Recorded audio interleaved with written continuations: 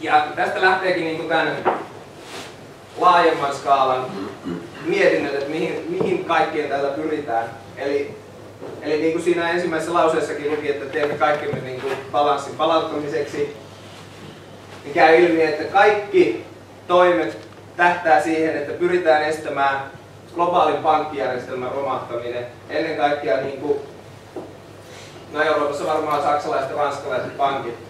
Ja se on porvareille tärkeää siksi, että raha, rahan ansiosta asiat on yhteismitallisia. Rahan ansiosta niin kuin, voidaan myydä ja ostaa työvoimaa ja rahan avulla voidaan ostaa ja myydä tavaroita. Ja tämän globaalin pankkijärjestelmän ansiosta niin kuin näitä asioita voidaan myydä ympäriinsä. Mutta jos ää, porvarit menettäisi rahan ja erityisesti niin kuin kyvyn luoda rahaa ja säätää velkoja, niin niiden niin kuin yksi tärkeimmistä poliittisista aseista menisi. Ja siis ei ne tietenkään halua luopua siitä.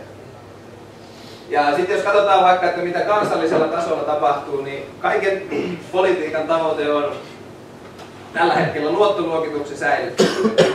Jos on lukenut uutisia nyt vaikka viimeisen parin kuukauden aikana, niin Standard Poor's, Fitch ja Moody's käyttää erittäin härskiä valtaa tällä hetkellä sillä, että ne ää, laskee luottoluokituksia tai uhkaa laskea sitä. Et esimerkiksi Standard Poor's laski Yhdysvaltain luottoluokitusta, koska se sanoi, että nämä teidän toimenpiteenne eivät ole riittäviä.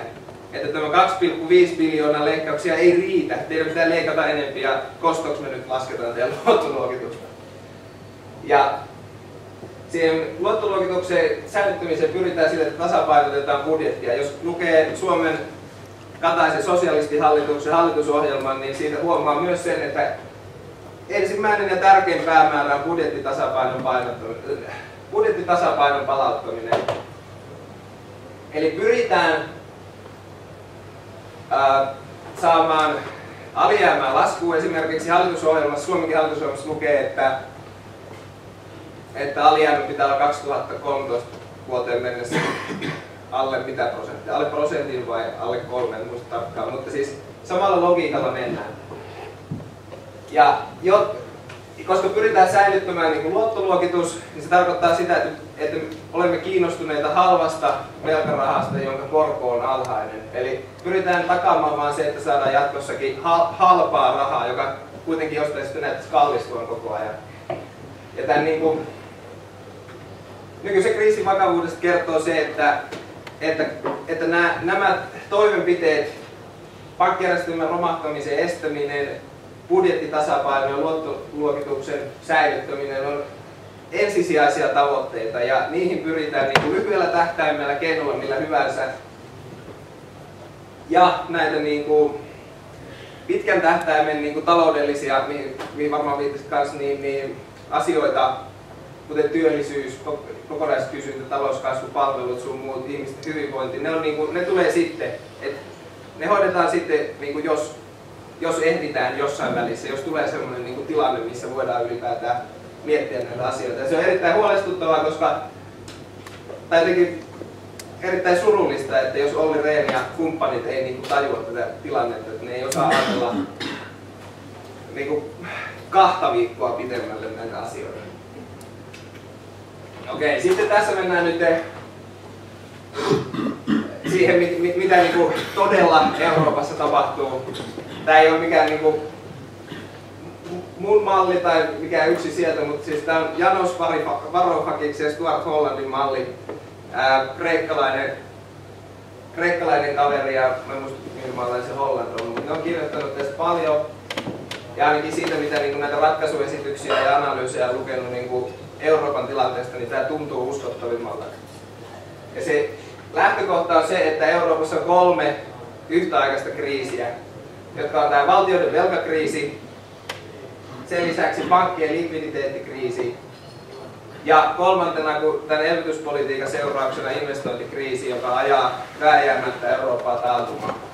Ja ongelma on nimenomaan siinä, että Euroopan päättäjät, valtiomiehet kiinnittää huomioon vain tähän ensimmäiseen kriisiin. Ja nämä kaksi jälkimmäistä kriisiä on aina näiden ongelmissa olevien valtioiden omia ongelmia, eikä niihin kiinnitetä mitään huomiota. Ja tämä on se syy, miksi, miksi ministerit, miksi kaikki populistit, miksi kaikki voi sanoa, että, että tämä on kreikkalaisten vika, koska ne ovat lainanneet liikaa ja tuplanneet liikaa, niin se johtuu siitä, että ei huomioida näitä kahta kriisiä. Eli ei sitä huomioida, että joku niille on ne velat antanut ja myöntänyt, eli nämä esimerkiksi ranskalaiset saksalaiset pankit, ja ne on nyt helisemässä sen takia, että jos nämä valtiot ei kykenekään maksamaan, niin se niin kuin heti eskaloituu sinne.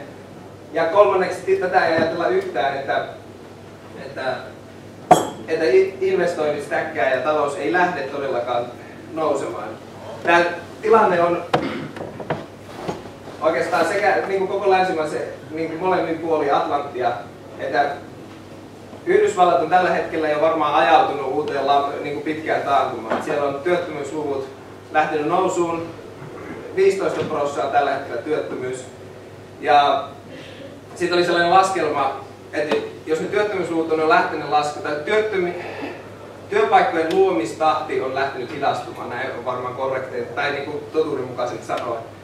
Mutta että oli ollut laskelma, että ennen kriisiä, ennen kriisiä niin, niin menetetty, suhteessa niin menetettyihin työpaikkoihin, niin jos Yhdysvalloissa olisi tuota työpaikkojen luomistahti tuplattu ää, 2009 vuoden alussa olevilla luvuilla, jotka on vielä aika hyviä, silloin on tullut paljon stimulusta ja niin kuin ruiskeita Yhdysvalloissa, niin jos se työpaikkojen luomistahti olisi tuplattu, niin silti olisi Yhdysvalloissa tarvittu 12 vuotta pitkä niin kuin keskeytymätön nousukausi, että oltaisiin päästy siihen työllisyystilanteeseen, mikä oli ennen kriisiä. Ja tänään muuten tota, Lehman Brothersin kuolinpäivän, tai kolmi, kuolin kolmivuotispäivän aatto. Huomenna, huomenna on tullut kuluneeksi kolme vuotta siitä, kun Lehman Brothers kaatui. Ja, ja, ja todennäköisesti myös Eurooppa tulee ajautumaan niin kuin näiden toimenpiteiden seurauksena taantumaan, koska nämä hevoskuurit leikkaa bruttokansantuotteen alijäämät ainoastaan nousee ja ne joutuu koko ajan ottaa enemmän velkaa, eli velkaantumisaste kasvaa. Ja tämä on nyt se peruste, miksi en usko, että ikikuuna päivänä päästään siihen tavoitteeseen, että euroalue täyttäisi edes nykyisen vakaus- ja kasvusopimuksen mitat.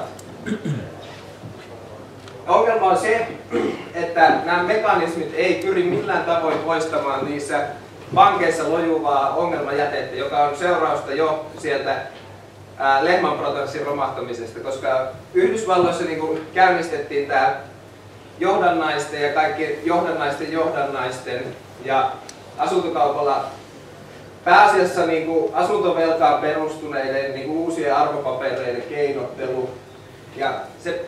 Se, niin kuin pääsi vauhtiin 2000-luvun alussa. Niin ne loi, Yhdysvallat loi ylivoimaisesti eniten niitä.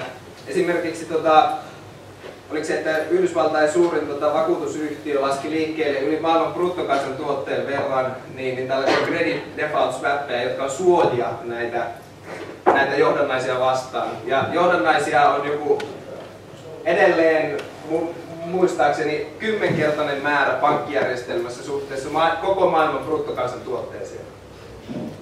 Ja näitä ei poisteta sieltä, vaikka ne on menettänyt kaiken arvonsa, ja näillä toimenpiteillä ei pyritäkään poistamaan niitä vaan tällä niin vakausmekanismilla otetaan rahaa valtioilta ja se annetaan niin yksityiselle, tai se annetaan niin yksityiselle pankille, tälle vakausmekanismille, joka antaa sen sitten takaisin sille ongelmavaltiolle, joka antaa sen niin kuin pääasiassa yksityisille pankeille, jotka on helisemässä. Et esimerkiksi Irlannin 85 miljardin tukipaketista, niin 50 miljardia meni pankkisektorille ja loput meni sitten investointeihin ja elvytykseen ja mihin menikään. Mutta tämä on keskeinen ongelma. Niin kauan kuin tätä ei ratkaista, niin myöskään tätä velkakriisiä ei tule ratkaisemaan johtuen tästä, että tätä niin kuin kolmi, kolmi yhtenäistä kriisiä ei ha hahmoteta.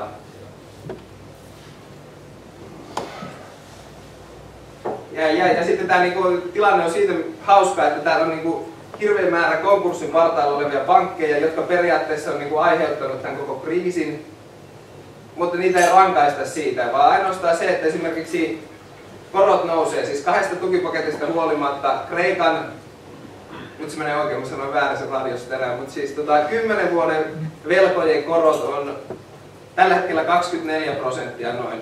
Alle viikko sitten ne oli vielä 20 prosenttia, eli neljän, noin 4 prosenttiyksikön nousu alle viikossa on ihan siis täysin päiväselvä osoitus siitä, että tämä valittu politiikka ei toimi.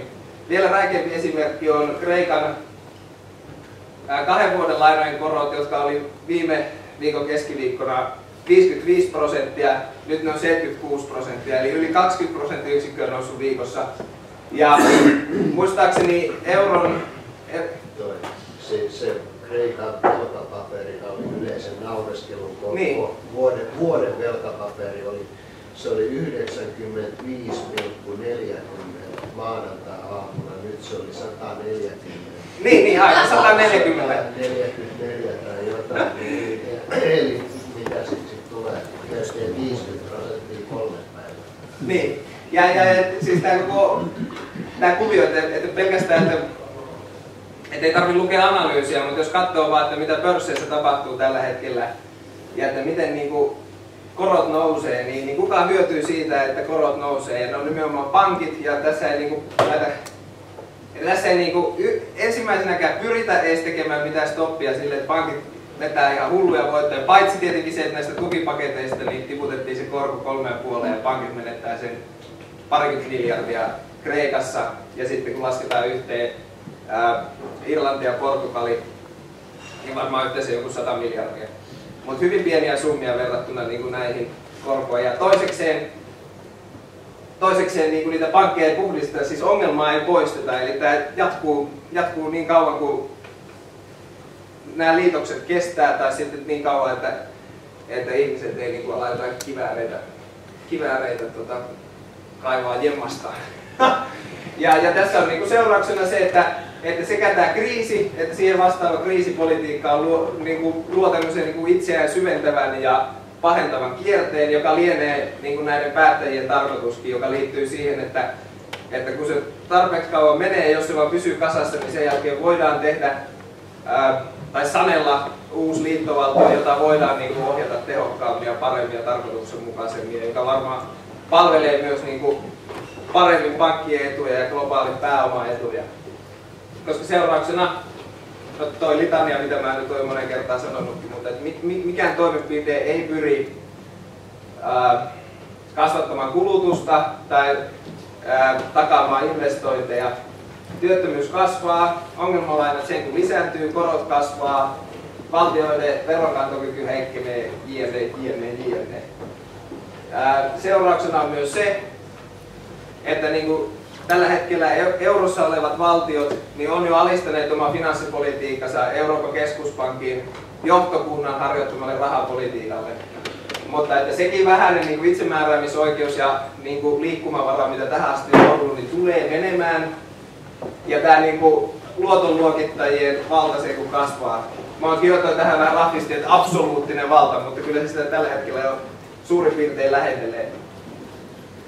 Ja en sen tarkemmin osaa ennustaa sitä, että mihin että mitkä on ne tapahtumaan kulut, miten tämä homma etenee, mutta hyvin selvältä näyttää, että joko tulee niin kuin uusi finanssikriisi, joka mahdollisesti käynnistyy Euroopasta, tai sitten, että kyetään koko ajan tekemään uusia ja uusia tukipaketteja, ottaa käyttöön mekanismia, muuttamaan koko Eurooppa banaanivaltioksi tai kehitysmaiksi ja kuppaamaan kaikki varallisuus sieltä, mitä onkin.